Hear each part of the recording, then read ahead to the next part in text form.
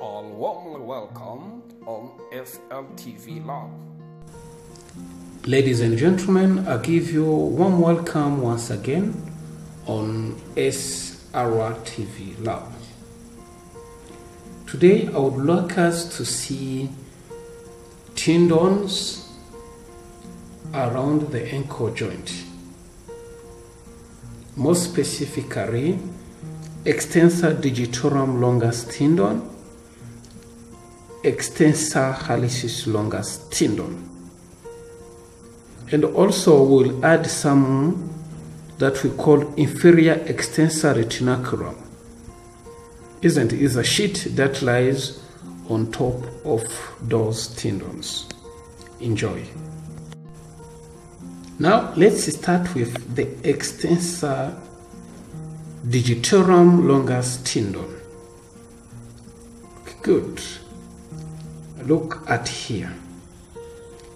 First of all, extensor digitorum longus tendon, those are the tendon of the extensor digitorum longus muscle. You remember a tendon is attachment of a muscle to the bone, which means those bone should be attached, I mean those tendon should be attached to the bone. And you remember we have how many toes? One, two, three, four, five. But here we are going to show you four branches of the tendon. One, two, three, four.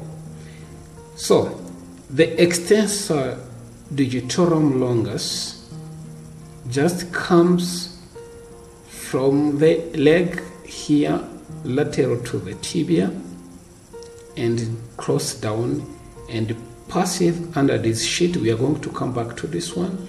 Then divide into four branches. This one this one this one and this one. And then these four branches are the branches of extensor digitorum longus tendon now the big toe this one.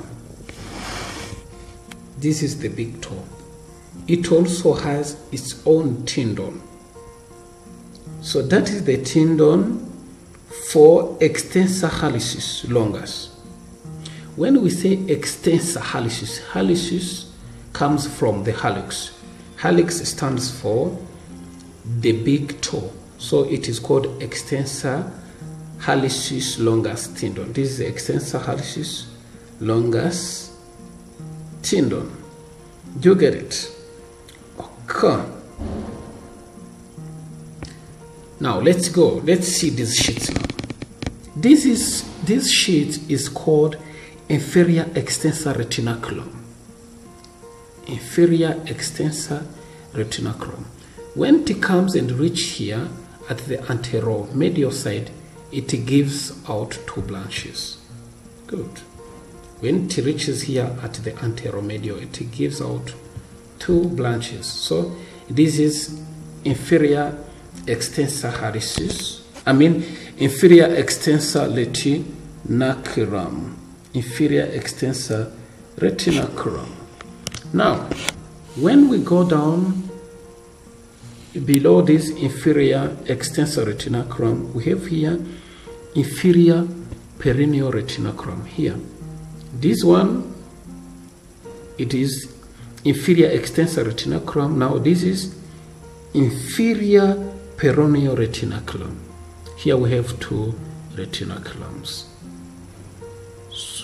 Inferior extensor retinaculum. Now this is inferior peroneal retinaculum. Thank you for watching the video. I hope it's very helpful. So please don't keep this information just with yourself. Share this information to your colleagues and see you in another video next time. May God bless you abundantly.